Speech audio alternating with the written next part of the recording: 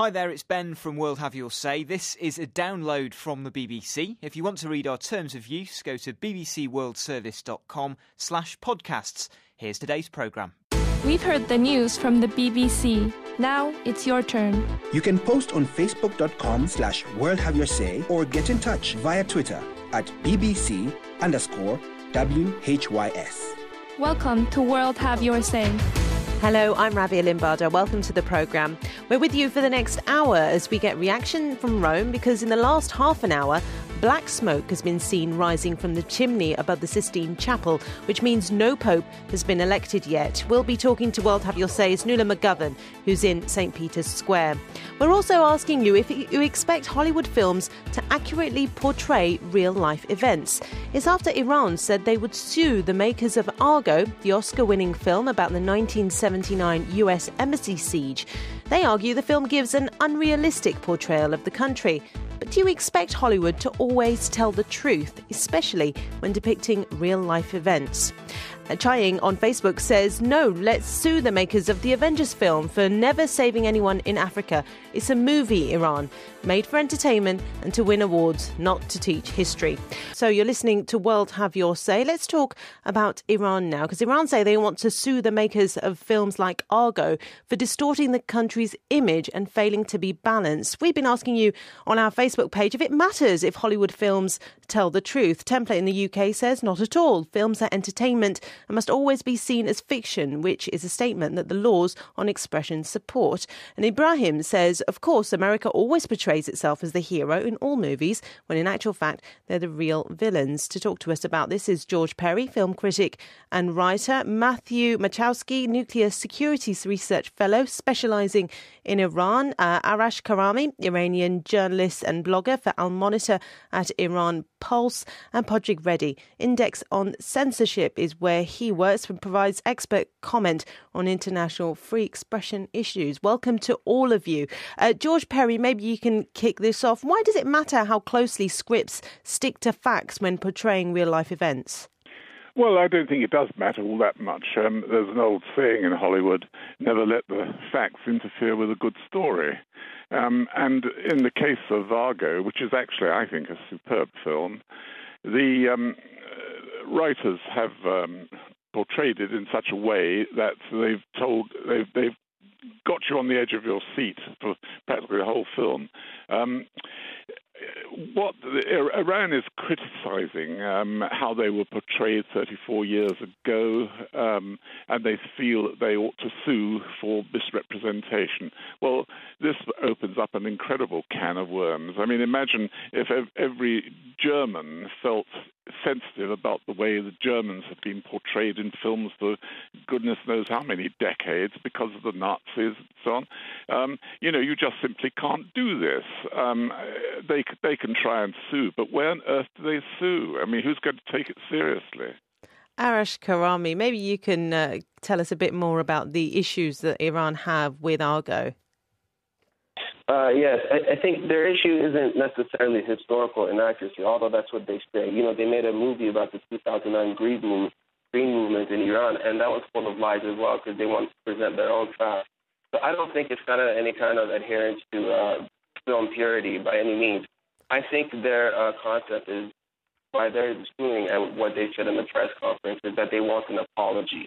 And really, they feel that they're being attacked somehow. And if you see even the UN ambassador um, uh, Mohammad Khazai, when he was on Fareed Zakaria even, he said that I'll invite the filmmakers to Iran and afterwards they will offer an apology to the big nation of Iran. So I feel like they're being bullied. They want to present themselves and they're going to say, hey, we're not going to just take this standing down. And they understand how powerful Hollywood is in uh, shaping perceptions of Iran. And they know they're not particularly liked. The latest uh, Gallup poll has shown that Iran's not necessarily well liked across the world. Uh, Matthew, maybe you can come in here now. I mean, it's uh, they want an apology, but it's it's fiction and or is it fact? Which would you which which class would you put it in? Um, right, it, it is it is definitely a film fiction film. It does portray some historical facts. Some of those historical facts are not uh, necessarily put into right historical background. Um, just recently, we had uh, Iranian's first ever Islamic Republic's uh, president, Abdul Hassan Bani Sadr, actually writing in his editorial that he believes that the movie actually supports, uh, uh well, that the movie actually plays into the hands of the Ayatollahs and plays into, uh, uh, even supports the um, creation of further. Um, further alienation of Iran, uh, which perhaps some of the Ayatollahs want actually. But it's also it, it is def- many of those facts are certainly true. Um, the hostages were obviously taken. But at the same time, it is also important to remember that there was a large group among the uh, politicians in Iran.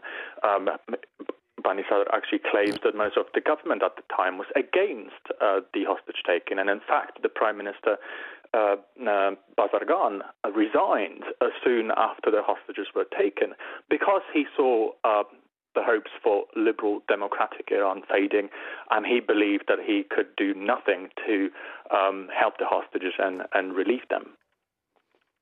So, who? I suppose what you're asking, what, what you're saying there is that it's about portraying people in a certain light.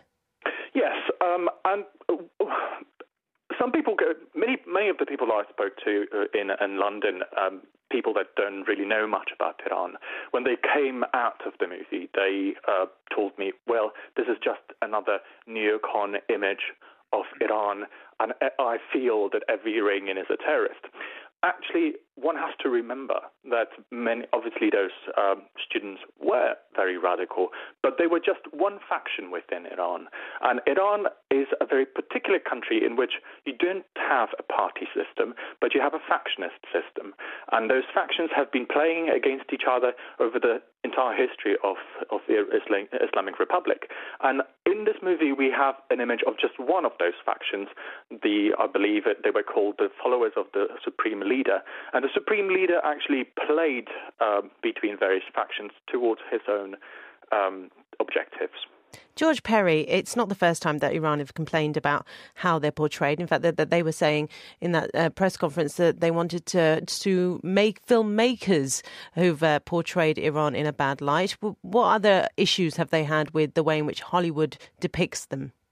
Well, you see, see, all, all this is all very well, but these, the people who are, who are making this fuss don't seem to understand what the purpose of the film is. The purpose of the film is to tell a story.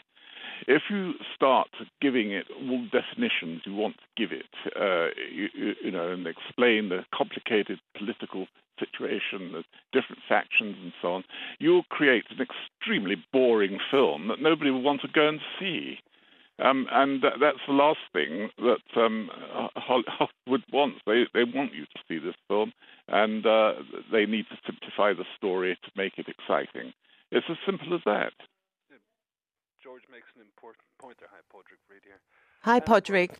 What the, what the Iranians really want is that they want they want utterly uncritical portrayals of of the revolution. Um, so we've seen this before um, when they were heavily critical of um, Marjane Satrapi's um, animated um, film uh, Persepolis, which was about growing up um, in Tehran during the revolution, and you know, it was a very beautiful, very cleverly put together film, and it was immediately denounced by Tehran as Islamophobic. Um, they, and beyond even wanting historical fact, what they want is utterly uncritical portrayals of the Islamic Republic, which would not only make for very dull films, it would also make for very much more dishonest and inaccurate films than than Argo. As George says, the purpose of a film is is to tell a story. It's it's not a documentary. Absolutely, yes. I mean, the, we look at. Um, uh, for, for, example, where I'm from in Ireland, um, there was you know Neil Jordan made made a film um, about the revolution, um, revolutionary figure Michael Collins, and one critic at the time said that the problem with Neil Jordan was that he knew too much about Irish history and he was trying to squeeze everything into two hours, which means that you conflate characters, you conflate situations, and you're giving an impression of what happens. But also, but it's not your job to tell a perfectly accurate story. Your job is to make an entertaining film which will might give some insight into a period of time. But first of all, be an entertaining and interesting film. Uh, let's speak to Mohammed, who's joining us from London. Hi, Mohammed. Mohammed, can you hear us? Maybe not. We'll try and call Mohammed back and maybe. add something here is uh, I, I really wanted to add the fact that I think um, Iran also they they don't they understand that Hollywood isn't run by necessarily U.S. foreign policy. They have that understanding. Whereas in Iran, you need a license to make every film. But I don't. I think they've underestimated George Clooney's influence and the amount of uh, awards this has received as well. They really can't fathom the idea that there's a possibility that perhaps George Clooney or the studio put a lot of effort into this movie getting awards, and they really do think that it's based on U.S. foreign policy. So I do think they have some difficulty distinguishing between uh, these two uh, different systems.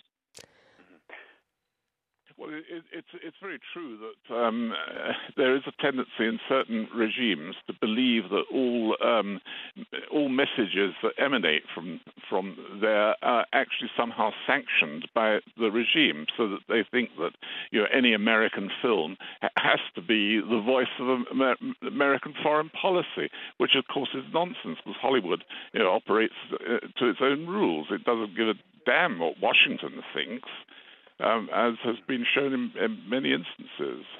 I think to extend that point even beyond um, even beyond Hollywood, um, if one casts one's mind back to the innocence of Muslims um, row um, recently, the the, the um, controversy over that and the riots that took place, you saw a lot of a lot of countries, you know, saying, well, why can't the United States do something about this. And uh, President Obama did, you know, point out in a while that he personally wouldn't endorse them, that that it was a matter for the filmmakers, and that that understanding necessarily is not necessarily always there. But there's there's a problem with authoritarian regimes in that in that, that by their very nature they are they are literal, um, and that does not suit um, the vagaries of of filmmaking and other artistic endeavors, which which deal in subtlety, which deal in irony, um, that have no place um, in author- authoritarian regimes. So you, you, just have to cast your mind back to uh, the Satanic Verses. Um, which was obviously, you know, uh, dealing with you know very complex, layered narratives, which the Islamic Republic and the Ayatollah Khamenei uh, either did not see or simply refused to see, and oh, could only take it on as, as an attack on Islam and portray it as an attack on Islam. Iran has uh, Iran certainly has. I'd like to add, sorry, the, also, I think one reason why they sent such a harsh reaction, they really got over the top, is they really do see themselves in a cultural war with the U.S. and with Hollywood. And I think to kind of target Hollywood and kind of put all this pressure behind it, they're in some ways saying, okay, this is our next enemy and this is our next front in a way that I think this is much more dangerous for them than anything else that they've been presented with. And they realize that their population is changing and embracing it. You know, as much as people might have not liked Argo, it was actually very popular in Iran. Everyone wanted to see it. So they know what they're up against. They know the power of Hollywood in changing perceptions and uh, defining perceptions. So I think they really have that fear. And even when you see Iranian filmmakers that are successful in Hollywood or they filmed are successful in Europe or receive an Oscar, the Iranian government is never happy about that. They're never excited about it because they feel like these films are still portraying them or it's portraying uh, faults within the Islamic Republic that they don't want portrayed out in the open in the public. So they do have this sense that they're in a cultural war with Hollywood and with the U.S. And they, I think they sense that they're losing this. This is another point that I think should be addressed. Iran may certainly agree that uh, the people in Iran, in the regime, in the Iranian regime, actually know that uh, Hollywood is independent. But the problem here also is with the fact that Michelle Obama was the one to award it uh, the prize. And this in Iran was perceived to be extremely political. Uh, many have said that uh, Michelle Obama being on uh, being the one giving the award basically meant that the President Obama agreed with the film and uh, endorsed the film, and that certainly was the problem. But the additional uh, interesting point in the story is also that uh, there was also some discontent coming from uh, the British Foreign Office. Um, Sir um, Sir Graham uh, Sir John Graham, who was the ambassador at the time in Iran, he came out and said that he was uh, actually very unhappy and infuriated by the fact that the British were perceived, portrayed in the image as the ones who turned their backs on the Americans, mm. where in fact historical truth is quite the opposite. um, the American hostages were, well, the Americans who escaped were actually given um, given some space uh, um, within the British uh, residential compound for some time until they had to be moved elsewhere for security purposes. Yes, so, so this, the, there clearly is a bit of this historical distortion. I, I, I, can, I can see see the point there, but the trouble is that um, if they had included the British participation, it would have actually slowed down the pace of the film, um, and uh, I, I, can see why um, they, they decided to go st- straight for the jugular, and ignore that part of it, because that slowed the story up. You see, the trouble is history is is not particularly tidy. Um, George, I'm going to pause you there because we are coming up to the news. George, Matthew, Arash, and Padraig, if you can stay with us until after the news headlines. Be really grateful. If you want to get in touch and uh, send us your comments to the debate, World Have Your Say at bbc.com.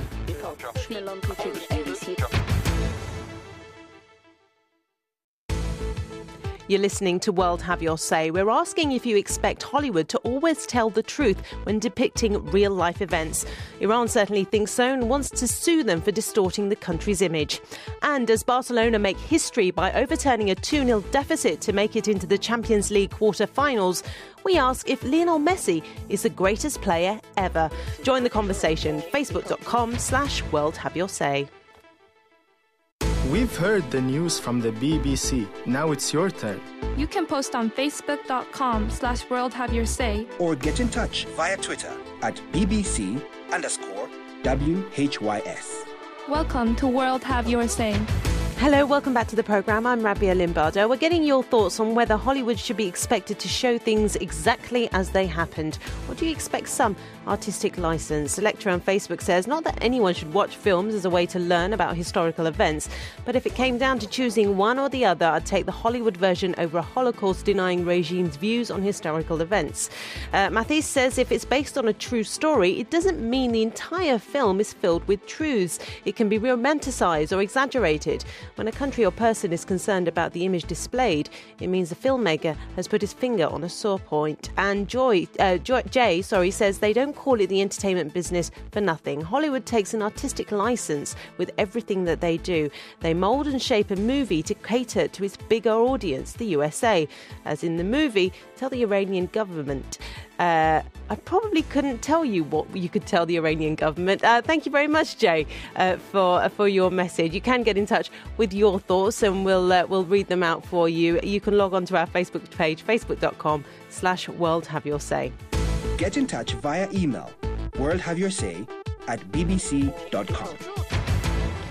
With us to talk about this for a few more minutes is George Perry, film critic and writer, Matthew Machowski, nuclear security research fellow specialising in Iran, Arash Karami, Iranian journalist and blogger for Al Monitor, and Padraig Reidy uh, from the Index on Censorship. Uh, maybe we can go to you first again, George. Um, does it really matter if they change anything in movies? I'm talking about race or nationality.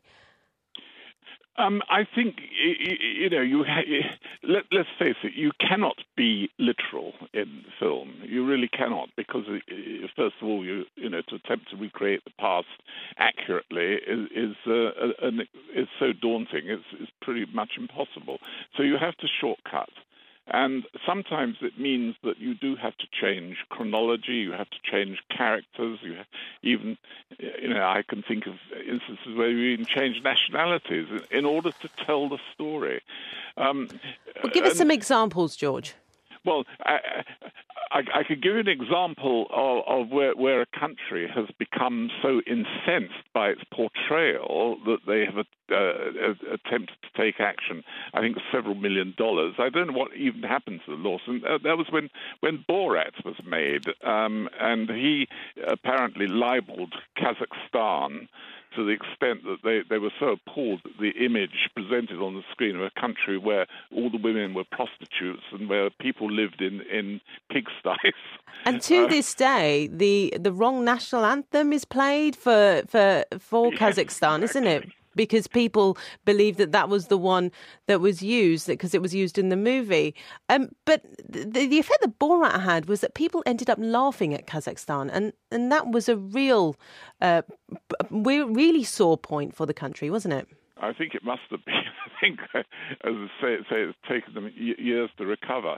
And and one of the, the, the sinister things you have to th- think too, and this goes back to the, the Iran thing, is that um, you know, Sacha Baron Cohen is Jewish.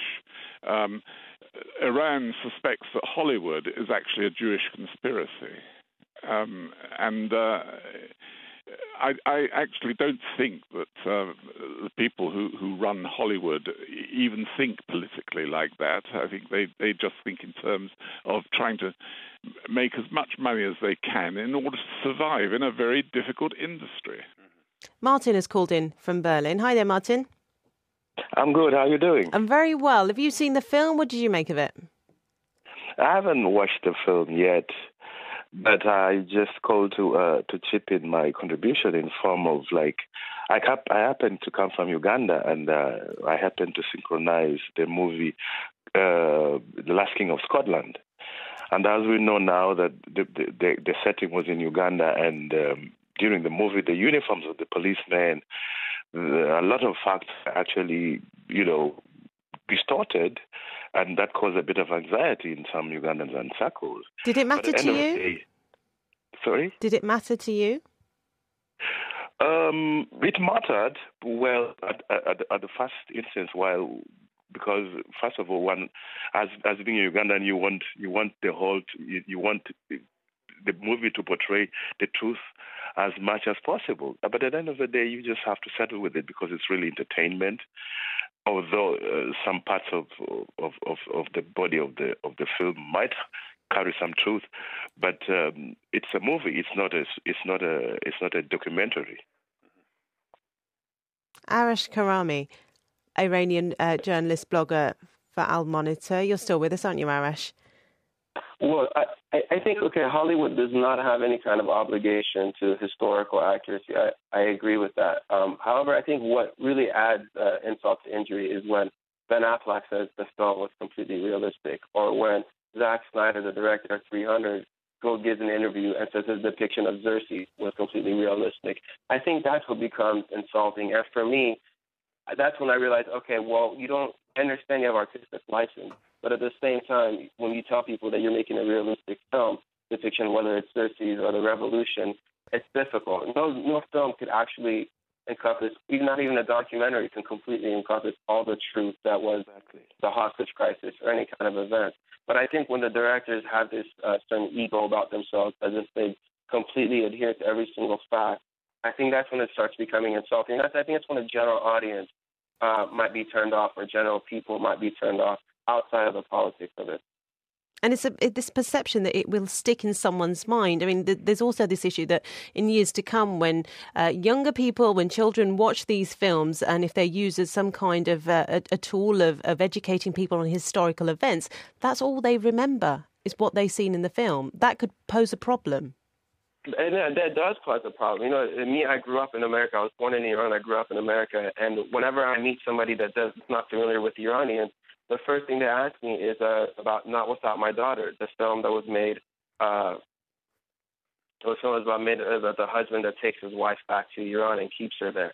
So I mean that really defines people's perception. So the fact that I have to answer that question still today, I think is really telling about how powerful Hollywood is. And uh, Arash, do you think anything will come of Iran's threat to sue the filmmakers of Argo? I don't know. The the lawyer um, the lawyer said that she's going to hire somebody within the U.S. as well uh, to kind of pursue the case. Obviously, I don't think it's going to go anywhere, and I don't think they have a case. And uh, and if I re- I've been reading a lot of the comments in the Iranian website, that people are are a little bit already critical of it. And they're saying, why are you spending money on this lawyer to go spend money on another lawyer when we have all these issues at home? So this might, uh, I don't know if it'll go anywhere, but I think there might be a backlash. If, if not, there's already an online backlash against spending money on this lawyer to do this. George, maybe for some historical context here, has there ever been uh, anyone who's been sued successfully for portraying their country badly? I, I, I can't think of um, of that actually happening. I can remember. Uh, I, I, can put something in in a historical context because I mentioned the Nazis earlier. Um, before the war in Britain, uh, the British Board of Film Censors took a view that. Uh, films should not actually criticize the Nazi regime. And in 1938, Hitchcock, Alfred Hitchcock, made a film called The Lady Vanishes, which was about a. Um, uh, um, what is espionage story, and uh, it involved a, a, flight from from you know what was obviously a, a, Nazi regime, and people who saw the film you know, identified the villains in the piece as as as Nazis. But the fact of the matter is that they are never named as such. Um, there's no, not a single German uniform anywhere in the film. It was set in, in a kind of uh, strange mythical country in Europe. And the reason for that was that the BBFC had uh, issued specific instructions that under no no circumstances were the filmmakers to to um, make insulting references to Herr Hitler and and indeed that's how it happened. And it came out the, the, the very week of the Munich crisis and you know just a year before the war started. I'm sure we'll see what happens in this case. George, thank you very much for taking part in World Have Your Say. Also, Matthew, Arash, and Padraig uh, for joining the conversation. Continue discussing this on our Facebook page, facebook.com/slash World Have Your Say.